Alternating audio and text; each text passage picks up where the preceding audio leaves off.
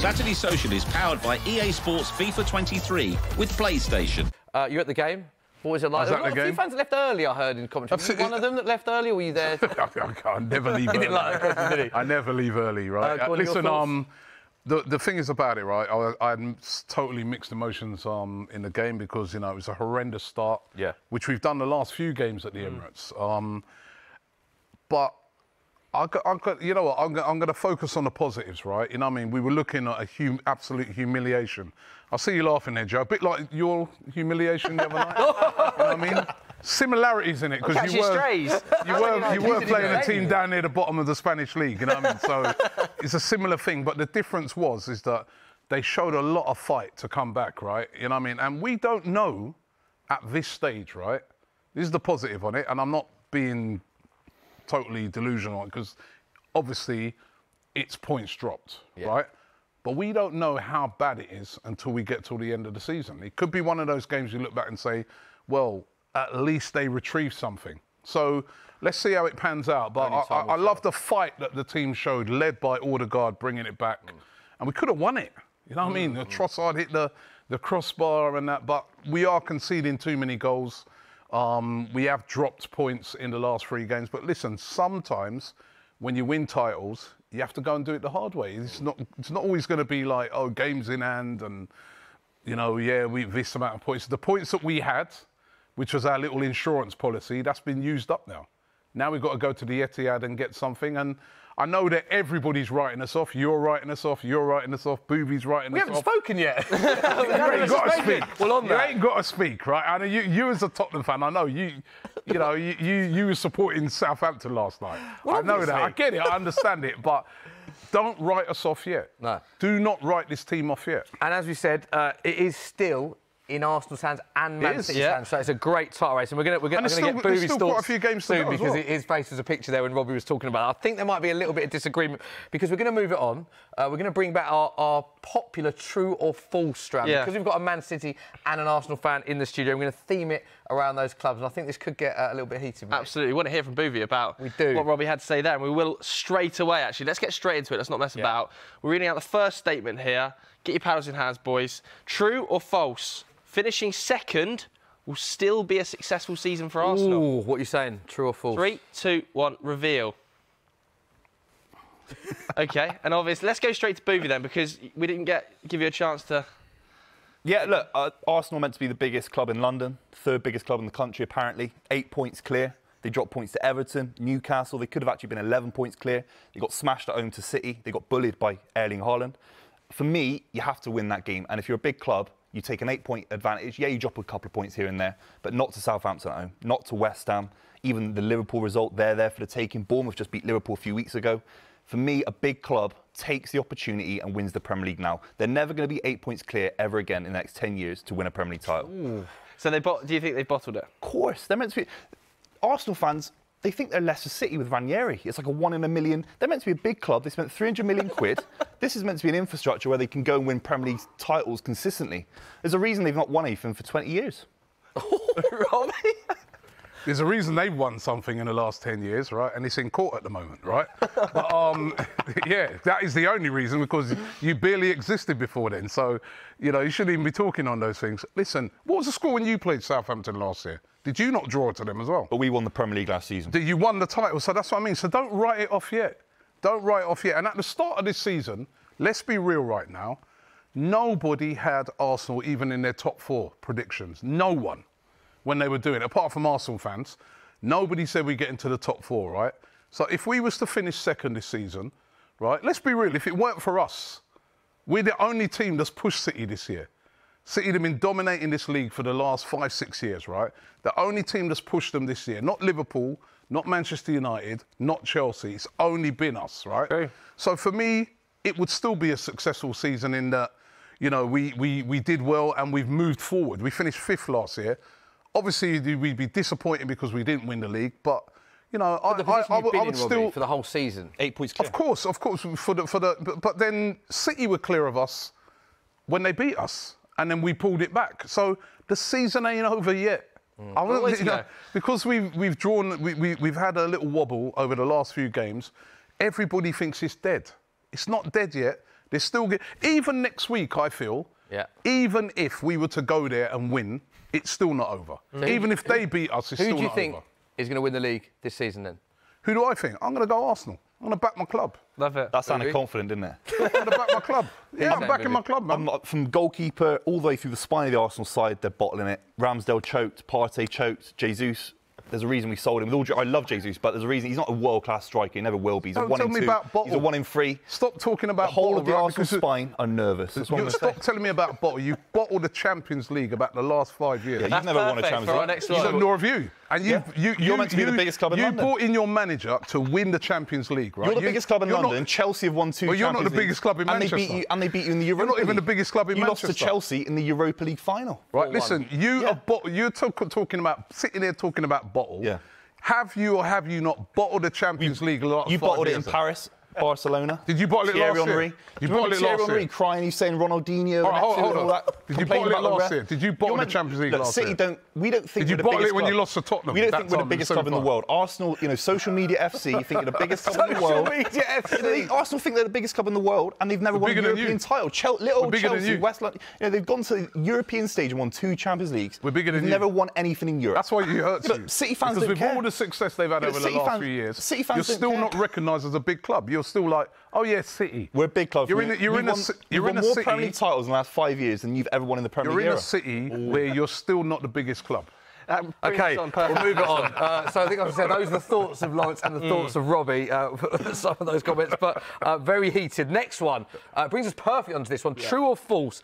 Arsenal winning the Premier League this season will be a greater achievement than Man City winning the Champions League this season. Let's have a look at your paddles. True or false? Perfect. Robbie, we'll give you uh, the first. Because as I said, one, you know what I mean, at the start of this season, we wasn't even in anybody's um, top four. So if we was to come and win the league this season, I think it'd be such an unbelievable achievement, you know. Whereas if you look at if you look at the Champions League, every literally every season since Pep Guardiola's been there, they're the favourites to win it. They were the favourites at the start of this season. They were the favourites last season. The season that's why I said they, they bottled it literally every season, right? But no, you were the favourites No, to I'll win you go, this- you. Were you the favourites to win the Champions League this season? Yeah, but uh, that's not the same. It's not the same. oh, it's not the same. It's not the same. The Champions League, the Champions League's hard. Alex Ferguson, Man United, he had 25 years with some of the greatest players of all time. He won two Champions Leagues in his time there. And he's, one, he's the greatest manager of all time, in my opinion. So the Champions League's very hard. Arsenal spent more than any other club in the last two summer transfer windows. Again, Spending you're talking yeah, about? Yeah, yeah. You spent more than You're Man City in the last two years. You've signed Zinchenko, Jesus, players with actual winning experience, unlike the Arsenal squad before those guys joined. And uh, You got the you- audacity you- to talk about spending. You wouldn't even is- be here. You this wouldn't is be the sat level of mediocrity Arsenal are living at. They think they're Leicester City. They're lucky to be winning the Premier League, the first in 20 years. It's low-level mentality Buvey, from Arsenal. Right, you beat underdogs today to Sheffield United, had that the owners of your club. yeah, We were- we were Prem- we were a Premier League club You, you, you, were, you were in the third division of football. Right, you're lucky those guys turned up, right, and brought the money into your club. How can you talk about that? You're the favourites to win the Champions League at the start of this season. We weren't. We weren't even, as I said, considered for that.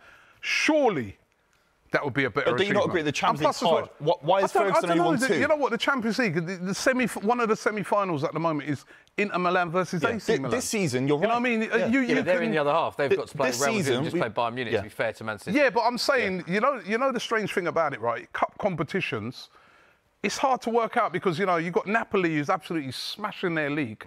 They're out of the Champions League mm. Yeah. because it's a little one-off game against AC Milan, and AC Milan could go on and win the Champions League and be considered the best team in Europe. It's I don't know. It's, it's kind of harder to probably to win your league, isn't it? Well, that, did, that split opinion. Let's, I think this next one will as well. True or false? Martin Odegaard is having a better season than Kevin De Bruyne. Now these two players have been compared consistently throughout the season. Buvey's not happy with this one. by the Buvey's way. not happy Who's at writing all. these questions, lads?